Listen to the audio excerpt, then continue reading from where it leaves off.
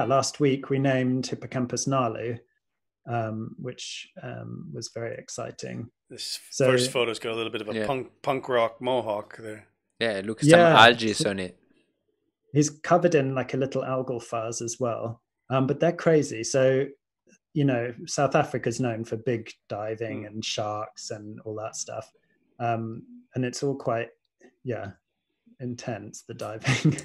So i went to Sodwana bay and i'm used to diving with pygmies in indonesia which is all like calm. You might get a current but um, we had to go th- like through the surf in this thing and the boats might flip over and um, it was crazy. And then you go out to sea and it's a, just a descent directly down onto the reef um, and the huge swells. The swells were picking up the sand and like blasting the poor pygmies with oh. it and the female one got buried up to her neck in sand and then just kind of shook it off and went away wow. and carried on and so it's not like your normal indonesian no dainty seahorse it's quite funny not really um, ideal for taking macro photos so it's quite a di- quite no. a, a, an harsh environment they live and if i think yeah. also at the, the bargibanti here or the other ones they, they, they like to stay in that strong current you know like uh, yeah, yeah, it's why, true. They do. Why is that?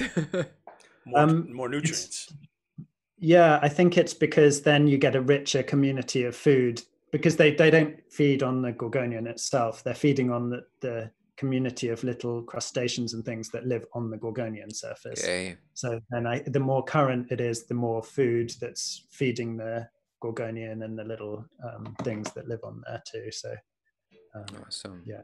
Uh, even the Pontohi, I, I, I remember it like on the walls of Bunaken all the time. And with the swell that you were just mentioning, always going like left, right, banging left and right, left and right. They, they like this movement life. Yeah. Yeah.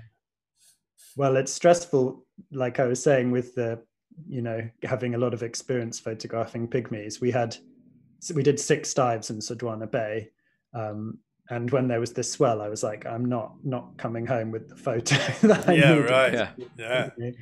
Um, so yeah it was quite stressful to make sure i got something to well, illustrate it. had because, someone yeah. shown you a photo before you went? Like were they were you sort of in saying hold it i'm not sure there's a there's a new species here it just doesn't make sense. Or did you have a little well, bit of disbelief at first well, it was kind of a longish story, but I'll try and make it a shorter one because it's more about seahorse dweebs. But um, so um, we'd kind of all been quite excited about pygmy pipe horses.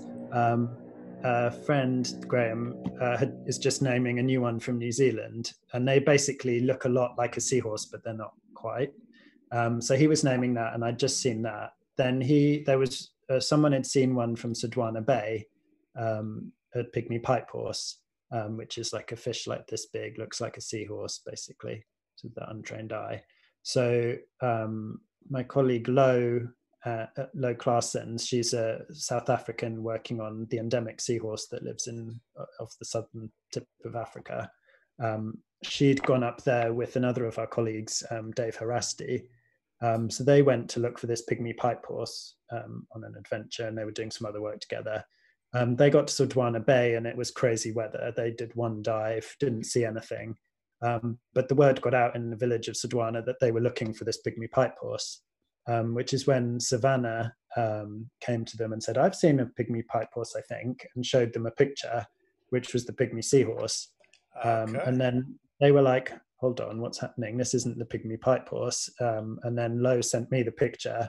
and then I got very excited. And then went there myself. Um, and S- Savannah was amazing. So we named the the new pygmies named after Savannah.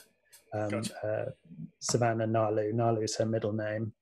Um, so yeah, it's named after her, which is exciting. And she's born and raised in Sodwana Bay. Oh, okay. Um, hopefully, she can be a nice ambassador for the species in the yeah. area and get people excited about conserving the area and stuff. Were yeah. you with her when you Very when nice. she pointed it out? Was she the one that pointed out your first one to you?